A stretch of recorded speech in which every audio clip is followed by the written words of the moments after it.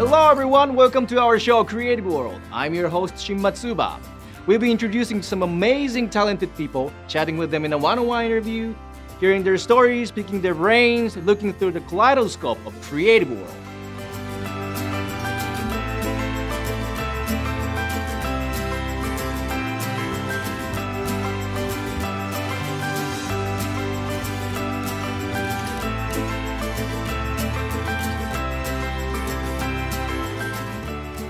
Creative world is fashion.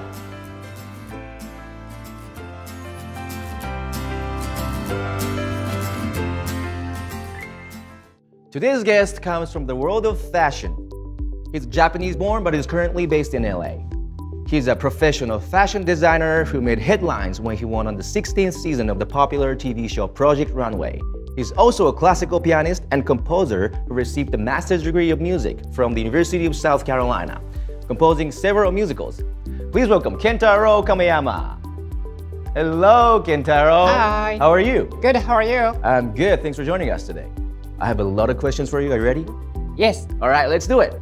This room is really beautiful. Is that is this your studio?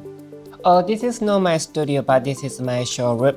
Uh, this is 66, Oh. and there are so many showrooms in LA, but like I had to have an extensive research which one would be the best fit for my line. Right. And owner Janice was so nice and beautiful, and I really fall in love with everything they have. Nice. Very nice. Very nice. So first question to begin with. So I heard you're originally Mhm. a pianist, right? Ah, yeah. So Mhm. what made you decide to pursue fashion design? Mm, so I came here to study classical piano, but I realized I can't make money. and on top of that, like um, um, one thing I wanted to do Uh-huh. was becoming a fashion designer. So like you know, I was getting older, so that would be the last chance for me to try out. Wow. So it's a big decision. What actually made you the decision though? Because you know the uh, that would be scary, and why why fashion design? I think I couldn't see anything like myself going further as a classical pianist, and uh, like I always like to uh, creative things. So okay, the creative. and also I felt like it's time. Right, right. So when actually you start to have the kind of like a motivation or likes toward the fashion design when you're I yeah, I always love fashion. uh, since you're a kid already. Yeah, since yeah. Oh wow, that's great. And could you briefly tell us about the TV show Project Runway and Yes. what was the process like and how it felt when you won?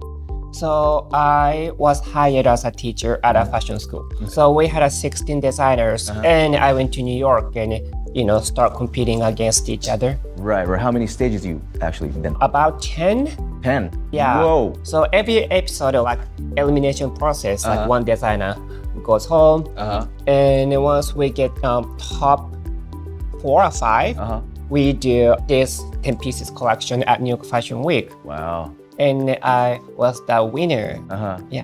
That's great. So, do you have any idea how many people initially applied for the show? Yeah, I did ask about it, but they Uh-huh. didn't tell me. But they just said a lot. Just I bet it's a lot. right, even from other countries.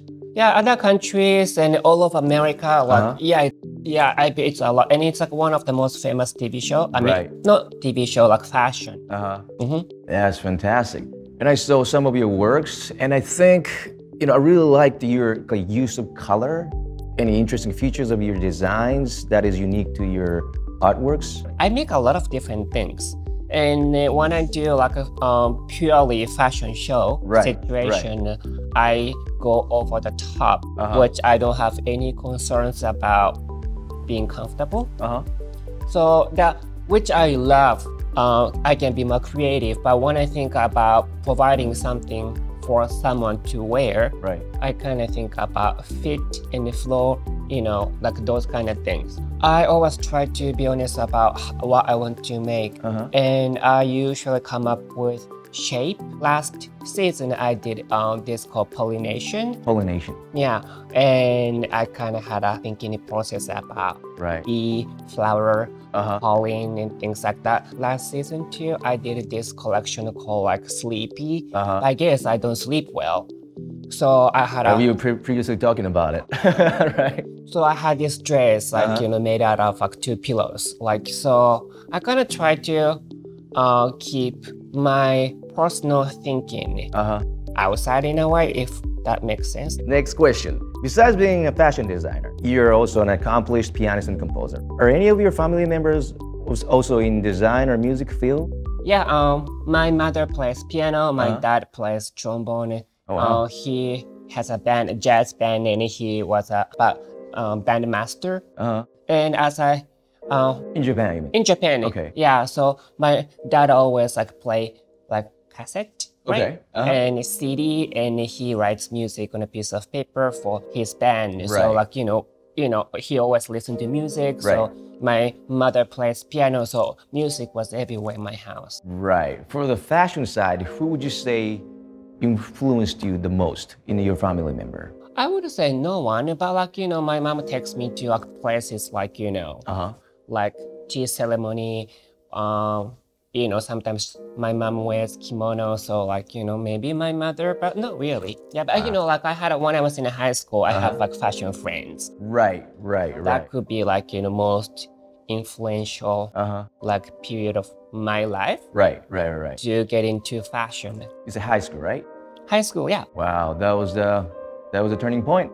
Sounds like. Yeah, I mean, I always like fashion, but like Uh-huh. that fashion became like more realistic. Right. And then next question. Do you approach since we brought up both music and fashion, do you approach differently when you design your clothes versus writing music?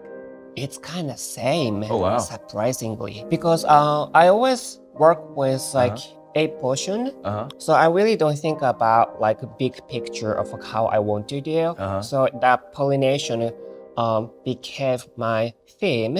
I just kind of started to think about like little part of like you know like pollen, the petal, and the bees, you know. And when I keep thinking about it, like I kind of start uh, creating a story about it. Uh-huh. So piano music, when I compose music, I have like a little theme or like specific uh, chords. Uh-huh. Then I keep thinking about it, kind of expands like longer, and I start seeing story. So it's very similar, or like you know, I would even say it's the same. Wow. So wow, being a musician definitely influenced your oh yeah, uh-huh, work. definitely. Wow. Is there anything new you're working on? Mm, I just became lazier, so that's about it. Yeah, because like I only work because I you know fashion show is coming up. Like, Uh-huh, you know, right. there's a things coming up, so I'm gonna work for it. So, you know, I, I'm not really familiar with the fashion world, but uh, is there any season for fashion? Oh yeah, Or, usually like, New York and LA Fashion Week, February, March, and uh, September, October. Uh-huh. Yeah. Oh, September. Okay. So that's kind of like you know twice a year. Got it. And then what do you think, since you've been really successful, what do you think is necessary to succeed internationally? Use who you are. Mm-hmm. So you don't have to be a specific person. Uh-huh. But then if you are to be shy person, I mean use that as your strength. Right. And you don't have to pretend I'm not shy. Right. You know, you kind of have to fully use who you are. And it's always kind of like makes other people feel good too. right, right. So be who you are, right? Yeah. And then do you have anyone in your mind Mhm. who you would like to collaborate with in the future? Oh yeah. Uh, I am planning to collaborate on this showroom 60, uh, 66. Uh-huh. And as I mentioned with Janice right there, Right. like we are planning to do something very interesting and like you know- cannot right now. yeah, Right. we can, but Right. it's something about fashion, but it's very unique and Uh-huh. involving a lot of like in art community people. So Right. that's what we are planning, and I'm so excited about it Right. because I think we need to help each other. Right, right, right, right. Like models needs garment, Right. designers needs photographer. Right. They need makeup artists, like those kind of collaboration. So I think down to earth and Mm-hmm. you know, really communicating with people. That's like me and James are planning to do through this Right. showroom. That's great. I'm looking forward to seeing that project. Mhm. And one last question. The title of the show is Creative World. Mhm. So, what does the word creative mean to you? What is your interpretation for the word creative?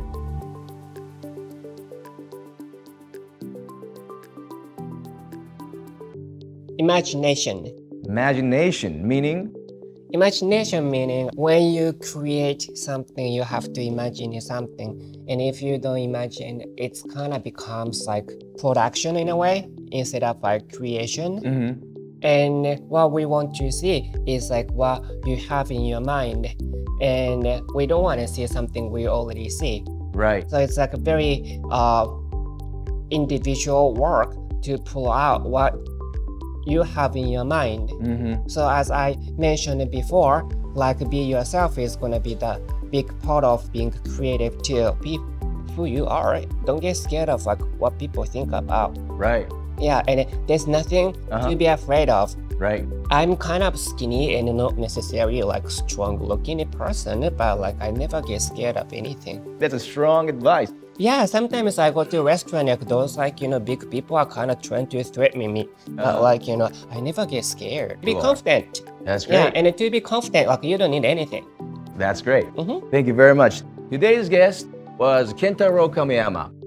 He's a fashion designer, Project Runway winner, and pianist. Thank you, Kentaro. It was such Thank a you. pleasure to have you on our show. Wonderful. Thank you. Next, Kentaro has some interesting materials to show you all. By the way, this episode will be available on YouTube this coming Saturday. For details, please check out our Facebook page. Enjoy! Enjoy.